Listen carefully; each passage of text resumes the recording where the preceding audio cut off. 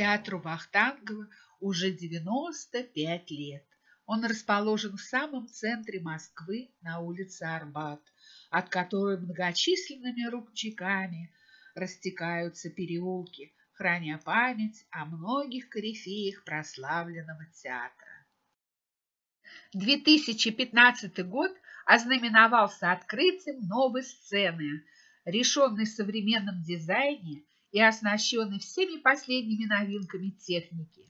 Фойе украшено информационными плазменными панелями.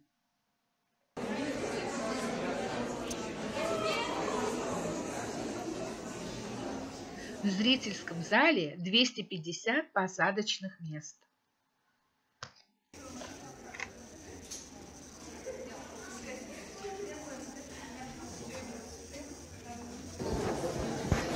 Квадратные столы.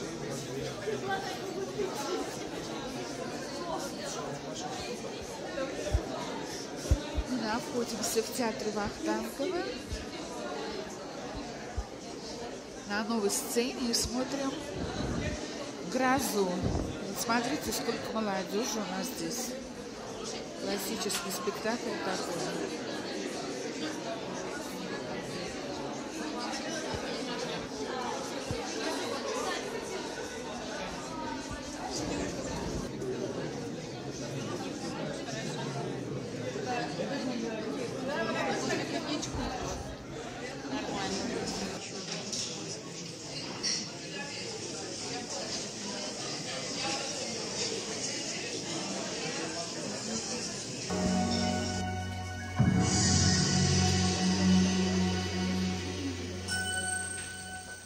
Прозвучал первый звонок.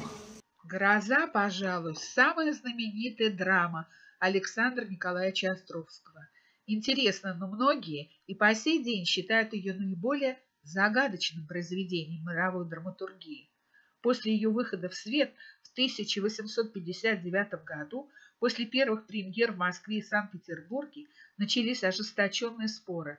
Кому-то казалось, что Островский выразил радикальный протест против устаревшего уклада жизни, а кто-то, наоборот, увидел в произведении оду консервативному русскому быту.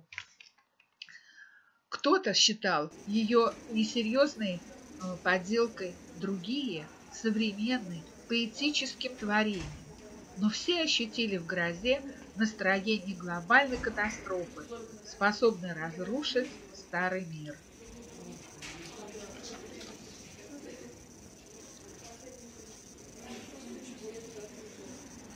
Почему же столь огромным оказалось влияние вроде бы простой истории, произошедшей в провинциальном городке Калинине на реке Волги? Роль Катерины – это вершина женского трагического репертуара.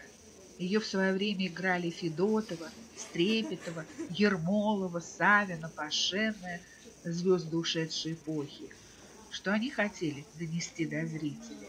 И почему этот спектакль актуален и сегодня у нашей современной молодежи.